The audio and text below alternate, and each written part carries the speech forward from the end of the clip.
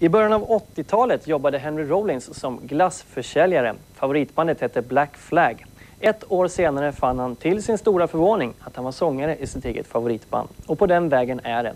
Författare, ståuppkomiker, skådespelare och inte minst musiker. Henry Rollins har för vana att ge sig på det mesta.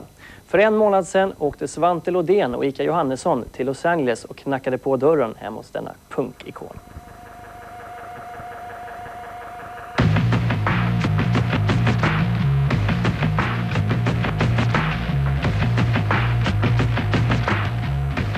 It's why I am where I am now because of the hard work. It's certainly not because of my talent.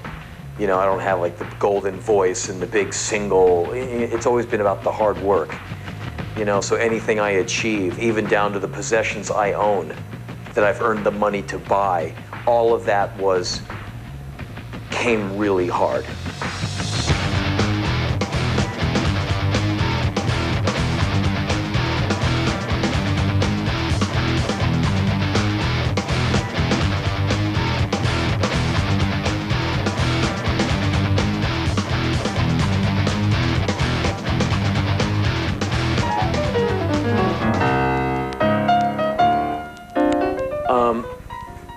I was raised with on my mother's records. Um, we always listened to music and read books more than watched television. And so at an early age, I really liked to listen to music. And I was into everything from Wagner to Isaac Hayes to the Doors to the Partridge Family to the Beatles, you know, little kids' music to grown up music because I would hear it all the time. Uh, a lot of classical, a lot of jazz. And so um, as I grew older, I would explore more music, and what really kind of kept me back from getting more music was I was broke all the time. And a lot of the stuff here is a combination of a lot of musical interests I have as far as being a listener and a lot of kind of documentation and uh, I'm kind of like a librarian. If you see a lot of this stuff, um, the the uh, the plain white sleeve CDs, uh, these are CDs that I've made uh, a lot of times from rare tapes. Like this is a lot of rare birthday party stuff, Nick Cave and the Bad Seeds. All of this, and all of this is Beatles bootlegs, because um, I have a big interest in the Beatles. I, I, to me, it's very important to preserve music. Uh, and so, in my own small way, I'm trying to kind of preserve this, this music. This is all stuff uh, that I haven't had a chance to hear yet because uh, it's really easy to buy music, buy a record, get a record given to you, but it's really hard to find the time to listen to it.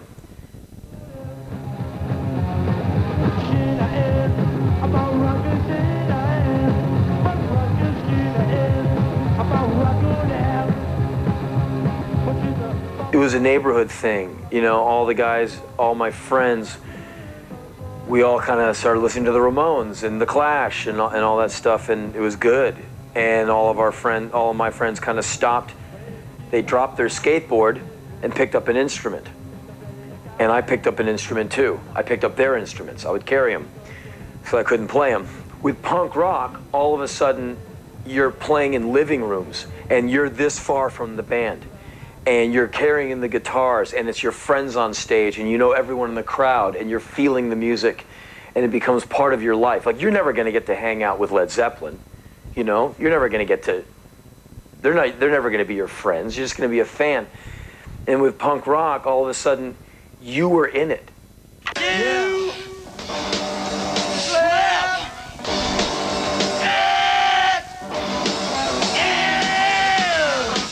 Okay, that was Black Flag you just saw. And now it's time for the interview. Why don't you start off and uh, introduce yourselves down at the left, right? I'm Greg Ginn. I'm Bill Stevenson. I'm Henry Rollins. And my name's Chuck Dukowski. They're like my favorite band. You know, uh, they, uh, their songs really said what I was feeling. And uh, I liked that anger and the crazy guitar and, and just the whole thing was really great to me. And then, uh, like a year after I heard them, I was in the band, which is kind of crazy. He's too straight and you can't wait. Modern, man.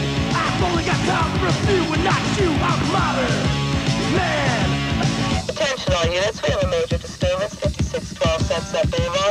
It was the band you were going to go see where you might get in a fight or something might happen. We were kind of a, a band that had chaos and trouble following it, which you know made us very legendary and infamous and all that. And and the legend is usually way more spectacular than the actuality of it.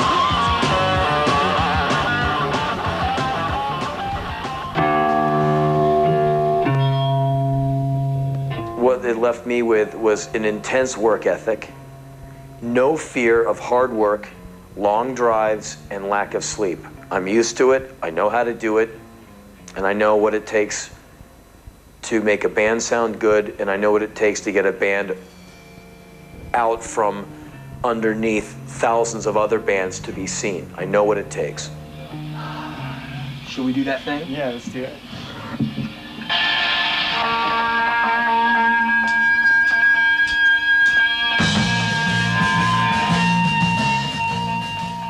Last few days, I'm just getting used to being around the band, and we're getting into this music, and it's all about the record and the music and the tour coming up. I know I got you know, like about a hundred and some shows coming up, so I'm just kind of um, gearing up for that.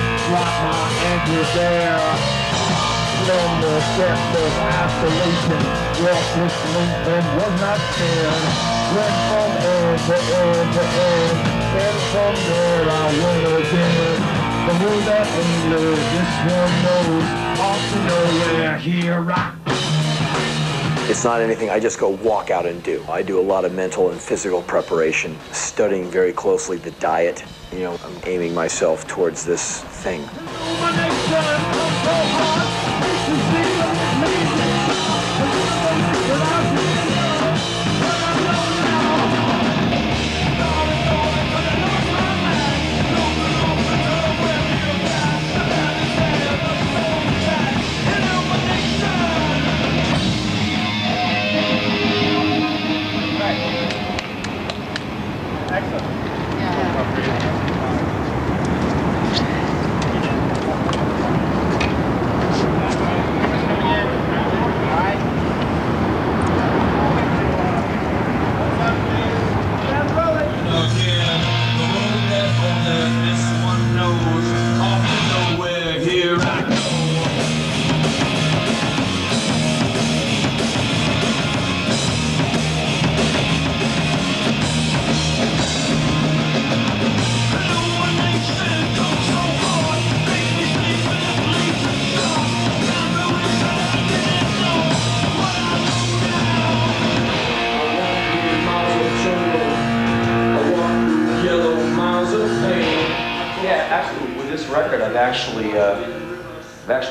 playing it quite a bit. I never really usually play my own records, but this one, I, uh, I don't know.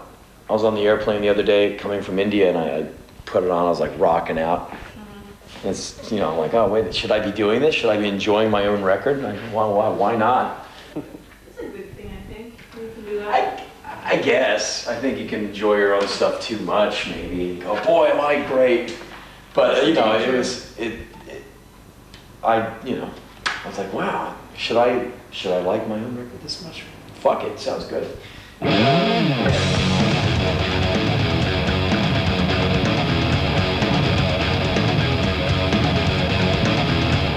I spend a good deal of my time by myself. You know, um, when I'm not on the road, when I'm here in LA, my normal day is I in the morning I come here. I work on that computer and I do stuff here, work next door. Then I go home or to band practice. Then I go work out in my garage. And then that's over and I read or listen to music or watch a movie or go in my car and drive around. But my at my other place, the phone doesn't ring. No one calls me over there. And and um, here, no one really calls me except for business.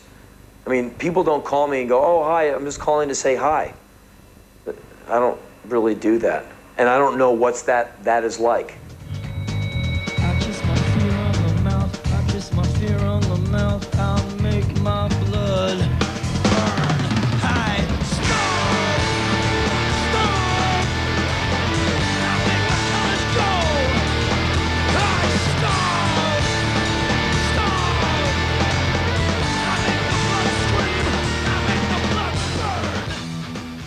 I get lonely, you know, because if you live like I do, I finally figured it out. I'm kind of like a racehorse. They feed me just right so I can run around the track right when they want me to. And that's kind of how I live. I have a schedule. I, I, I do that thing and I keep my body ready to go on stage at 8 o'clock and do the tour. And I really can't get away from the schedule because it messes up the stuff I want to do. I always make fun of myself because I know how ridiculous I must be to people. You know, that I'm so like, I must do this. You know, and people make fun of me all the time. Like the, the girls who work here rip on me relentlessly. No real rock and roll animal goes and buys a hand towel. I'm not gonna go buy some little piece of cloth I can be like. Even though I use them whenever I can find them, you know, real man just wipes his hands off on his pants, on his shirt, you know, "Arr," you know. And so I realized I have to go out and buy all this stuff, and I've never done it because I'm not gonna go to a store and buy a blanket. How am I gonna come off with tattoos, road warrior? Not like a blanket. You mean you get cold at night? I usually build a fire in my room. When it gets really cold, I stab my dog and thrust my hands into his steaming entrails. You're like, but blanket? No. In a world of software, 80 channels on the satellite dish, 2 million CDs, Bruce Willis blowing up on the computerized screen, you know, technology, MTV and uh, sound bites and megahertz and input, input, input, 40 different versions of red hitting you. I think it's really cool for a single solitary person to get up with a microphone and use his human signal to communicate. The talking shows came out of um, basically working on the, the writing and becoming more verbally oriented. You know, I've always told stories. The first show of the year starts in Brazil. I am so thrilled to be in Brazil. Santos. It's an outdoor festival, free admission. They're expecting 60,000 people outside on the beach, the moon, the sea. Us, Evan Dando, and Mr. Big.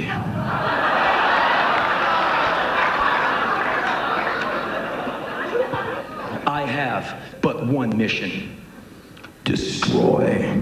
I will not even talk to Evan when I see him. I've never met him before, but he plays that music that just drives me nuts. That girl music.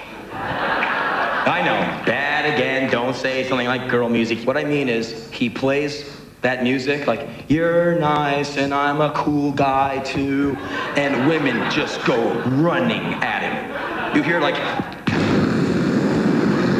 sound? is women running after Evan Dando. 13 to 25 years old, stupid, beautiful women going, Evan, Evan! He's just like, oh, hi, how are you? No, you can't come back to my hotel room. I gotta read and have some milk and cookies and go to bed. You know, so I'm looking at this guy like, you die tonight. The unbelievable crushing fist of the Rollins band will just turn you into mincemeat. So anyway, Brazil. The drummer comes up to me, our drummer, Henry, come and meet Evan. Come over. Henry, shake hands. I'm like eight, you know. Like. Evan is one of the coolest people I've ever met. Total sweetheart, nicest guy. He's excellent. So I'm like, sorry. But then I get back into my head thing, man. I've got to rock and roll tonight. First gig, they're gonna see like sweat, muscle, screaming, rock power. So I get myself into a lathered frenzy before we hit stage. I'm already sweating. It's so hot out. It's nighttime, and you're just like standing there sweating. We hit stage. The band comes crashing in. My head comes down. My knee comes up. Bam! Knocked my ass out in front of all of them. I aim to communicate myself to others and to express myself. Entertainment, yeah, there's going to be some of that in there because it's funny and keeps it moving along. But I don't go out there just like, hey, yeah, you know. So you think you're gonna live your life alone in darkness and seclusion. Yeah, I know. You've been out there and tried to mix with the animals, and it just left you full of humiliated confusion. But the feeling of loneliness never leaves you. It haunts you everywhere you go. And then you meet me, and your whole world changes. Because everything I say is everything you've ever wanted to hear. So you drop your defenses, and you drop all your fears. And you're so busy feeling good that you never question why things are going so well. You wanna know why? Cause I'm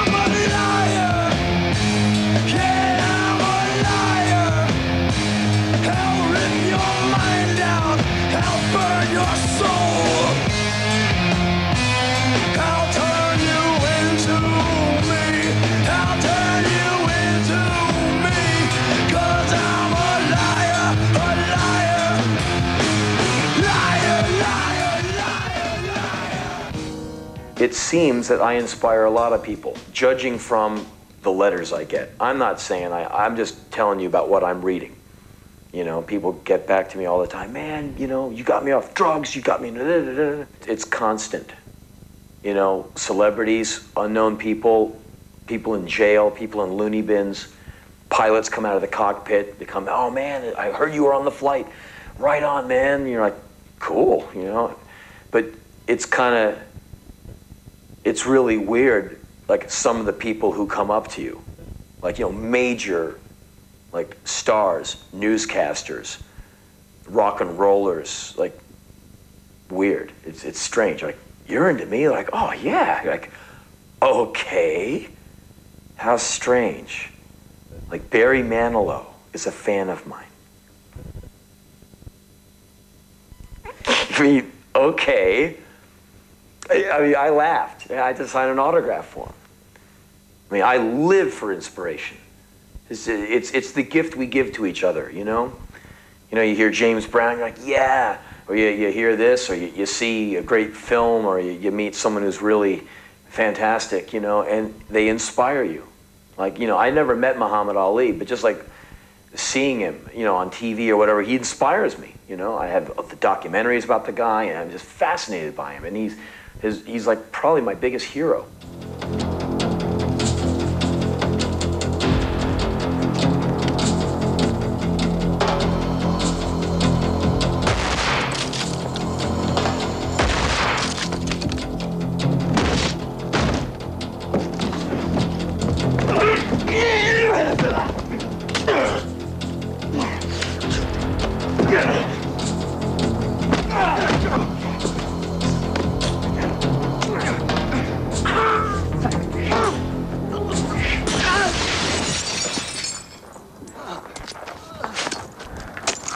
You ratted McCully to us. How'd you know?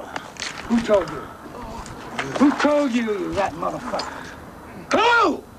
I don't really aspire to be an actor. I like to go in every once in a while, get a part, do it, pull it off. I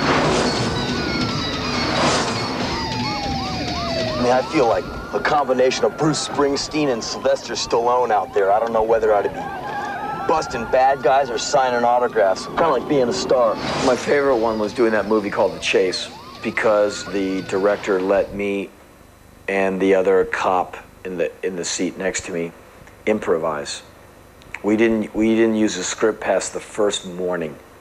The the director said, "You guys are funnier than my script. Just do whatever you want." And that was so much fun. Thanks. Came up with that myself. Who's Jones? He's that guy who fucks your mother.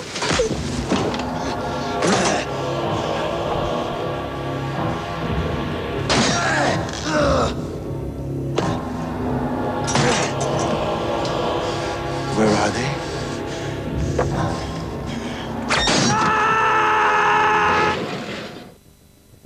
I basically just went through the motions of being a son. You know, my I see my dad on the weekends. He go, Henry, now. I go like, yes, sir. Okay. And my mom would go, yeah, yeah, yeah, yeah. I go like, right, mom. Whatever you say. Yeah, whatever. And uh, then I turned 18 and I left home. You know, graduated from high school and I left. Never went back. They had me and they got quickly divorced and I was kind of like this pain in the ass thing that went from between the two houses. And I felt kind of in the way at a very early age. And I didn't go, oh, I want to die or anything. I want, to, okay, cool. I've seen my father uh, on two occasions for a total of about three minutes. Uh, once in 1987 and once in 1988. The time before that, I think, was like 1979. I think I had dinner with him, and that was it.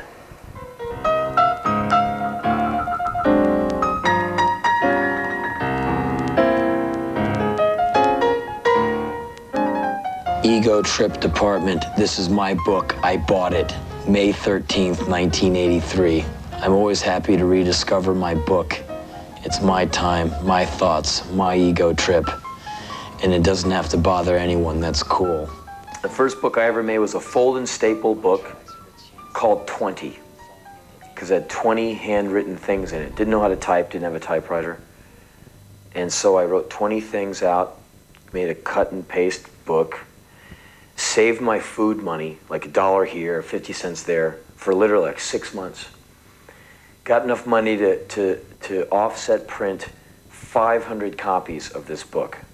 Folded and stapled it myself, used Greg Ginn's mother's stapler, stapled it all together, sold them for $2 each. Probably sold about 100, gave away the rest. That that's always how that goes. Hey, would you buy that? No, and then have it. Would you read it? You know. So I made enough money to make another 500, and those we took on tour, and they did actually sell. So I ended up with some money from that. And then I got all, you know, uh, thinking, you know, epically, I'll do a paperback book. Because this, I had even more writing at this time. And so I made a little paperback, which uh, apparently just sold on an, on an internet wet auction for like six, seven hundred bucks. Sucker. Um, so anyway, I made that book, sold like a thousand of it, took that money, made a second paperback, and reprinted the first one, and kind of went on from there. To this day, these books sell like they never stop selling. They just keep going out the door. Not like flying out the door, but like every other tour I come back from, I look at the stack of books at the book company and it's a new pressing. I go, Did you just reprint that? They go, Yeah. Like some of those books are probably well past 50, 60, 70,000 copies sold and still going. Um, for me, I look for originality. I'm mainly interested in American writers because uh, I'm, I'm trying in my own small way through art to uh, de-insanitize America.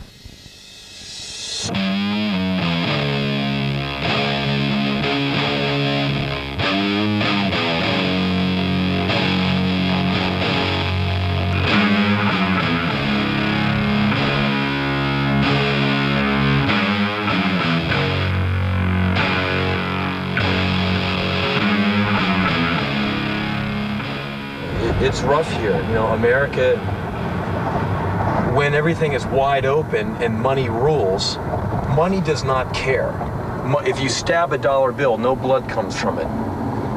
And so when you live in a culture where people are going for money, when it's a, you know, when, when capitalism is the way of the walk, then you get some pretty desperate people, you know? We got robbed by two Crips, and they're marching us into my house. I was living in out there to rob us and take our stuff, and I, I guess presumably to execute us inside the place. And I had my back turned because I had a gun in my back, and there's two guys, one on my friend and one on me. And I opened up the door with a key, thinking to myself, how am I going to get out of this? I mean, what can I give these people to make them go away? Because I figure we're dead and there's gunshots behind me. And then the gunshots stopped. And what that was was the guy shooting my friend and shooting at me and missing. I was standing still with my hands up. I didn't know what was going on. And I went out the back and ran up the alley and called the police from a payphone. And um, I went to the police station and they told me what had happened to my friend. I didn't know at the time. It was pretty rough. But you know, that kind of thing really makes you, uh, it puts you through some changes, that's for sure. Well, I probably am more withdrawn than I used to be.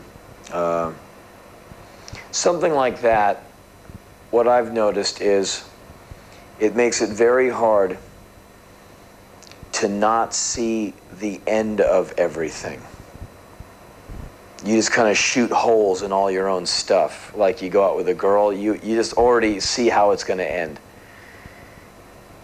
You know, that, that's what, how it was for me with a few girlfriends. So I just would go, okay, this has got about a six week duration. I can kind of see how it's going to end up. So I would just call them and go, okay, well, goodbye. And they would go, what? I'm like, you know, forget it.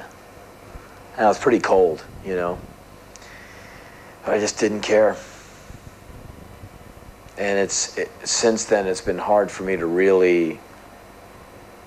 I don't know. It, it's it's maybe one of the reasons why I don't keep in touch with people. I used to keep in touch with people more than I do now. Now, man, I don't even really think about people. I think I'm more obscure than private. Kind of more socially extinct in a lot of ways. So easy to hit joggers here. You have to be real careful. People just come up real fast. And you know, the, LA is really not the place where you want to go hang out. You know, I did it the other night, and I was like, oh yeah, that's right, LA.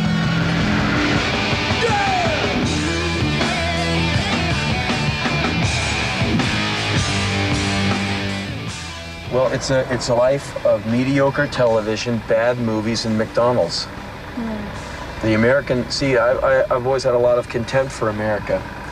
I love America, but I also get mad at it because, like George Clinton says, America eats its young. America destroys its inhabitants. Like, look around and notice how many people are overweight. America is America is overweight. America is a flabby country. People just get too much stuff here, man. Look at them.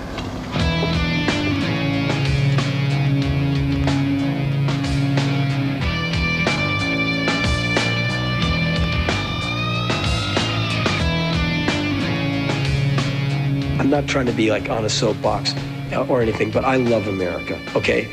Because Miles Davis comes from here, okay?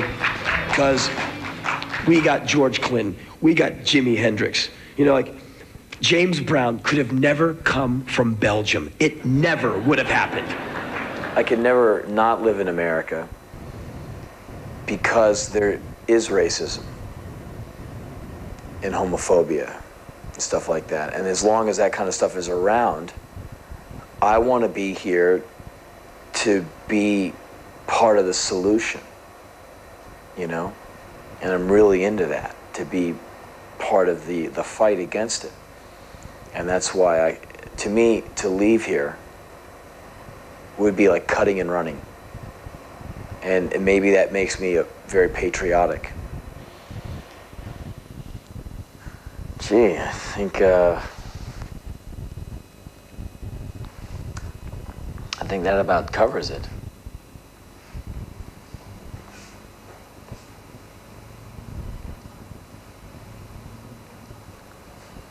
Gee, makes me tired just looking at it.